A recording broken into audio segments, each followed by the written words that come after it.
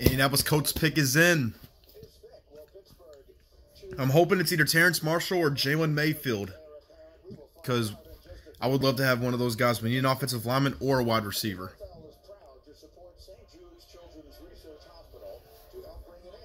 Honestly, I mean, Chris Ballard killed it with our first pick and getting Kwity Paye. I wasn't able to get it filmed because I was at work. So, unfortunately, it is what it is.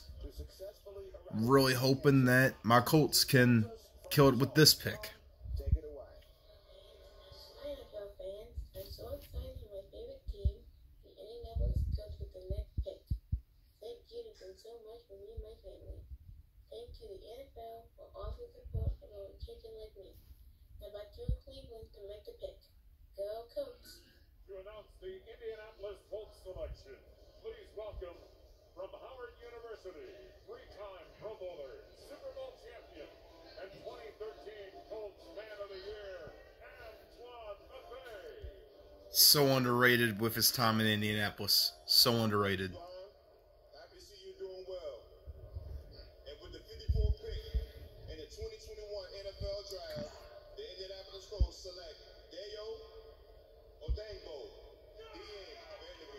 Who?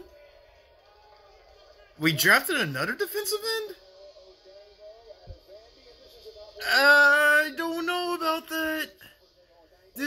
Need another defensive end? I mean, I trust in Ballard, but I don't know. We'll we'll see.